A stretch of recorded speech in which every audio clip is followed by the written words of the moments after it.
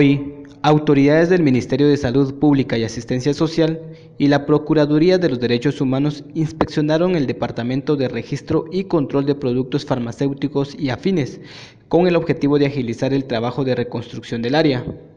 Esta intervención se da luego de que dicho departamento, ubicado en la zona 15 capitalina, se encendiera el 18 de enero de 2017, lo cual afectó su operación. Posterior a lo ocurrido, el Colegio de Farmacéuticos y Químicos de Guatemala y la Asociación de Químicos y Farmacéuticos de Guatemala, ASOFARGUA, hicieron un llamado a las autoridades a restaurar los servicios en dicha oficina y agilizar el acceso a la salud.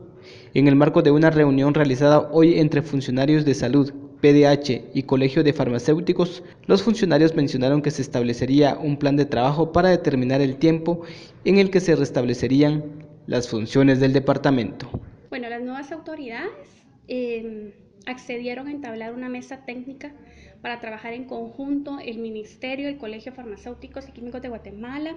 ASOFARGUA, en compañía de la PDH para poder establecer un cronograma, un plan de trabajo para determinar en cuánto tiempo se pueden restablecer las funciones del departamento en condiciones adecuadas para el resguardo de los medicamentos y también del personal que trabaja en,